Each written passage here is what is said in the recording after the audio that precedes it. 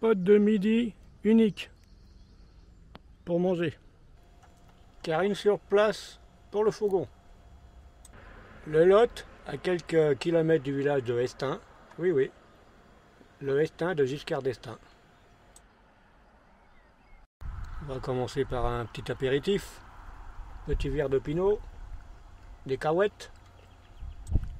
Devant cette vue magnifique.